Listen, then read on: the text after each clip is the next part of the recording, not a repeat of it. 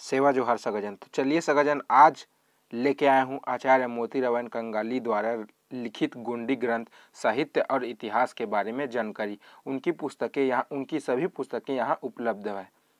मतलब ये उनकी जानकारी यहाँ उपलब्ध है। उसके बाद आप कहीं भी हमारे समाज का जब कार्यक्रम होता है, वहाँ पे जाइए और उस नाम से वो पुस्तक खरीद लीजिए।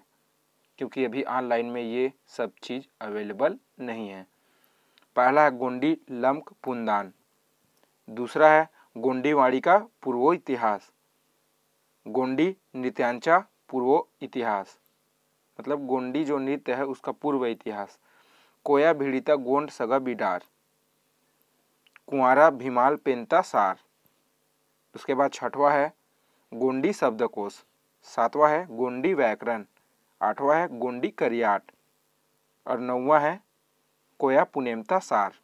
दसवा है, गोंडवानागढ़ दर्शन। ग्यारहवा है गोंडवाना कोट दर्शन। बारहवा है, गोंडवाना का सांस्कृतिक इतिहास। तेरह नंबर का है, गोंडी पुनेम दर्शन। चौदह, गोंडी श्लोक। पंद्रह, मुंडारा हीरो गंगा। सोलह, तापी नदी का पौराणिक गाथा। अठारह गोंडी लिपि परिचय।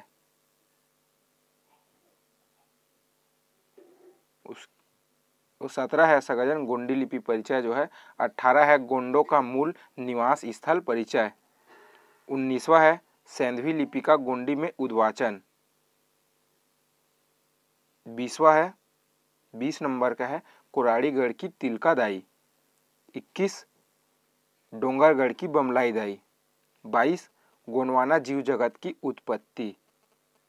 तेईस वृहत हिंदी गोंडी शब्दकोश। चौबीस, चांदागढ़ की महाकाली कली कंकाली पच्चीस, बस्तर की दंतेवाड़िन वेनदाई दंतेश्वरी। और अंतिम जो है, मराठी गोंडी शब्दकोश सगजन छब्बीस नंबर में। तो हमारे सगजन तक इसको पहुँचाने की सेवा कीजिए सगजन। जितना हो सके शेयर कीजिए। कि जिनको भी जो जानना है, बमलाई के बारे में जानना है, कि दंते वाड़िन के बारे में जानना है तो उनको शेयर कीजिए सगजन। सादर सेवा जोहार।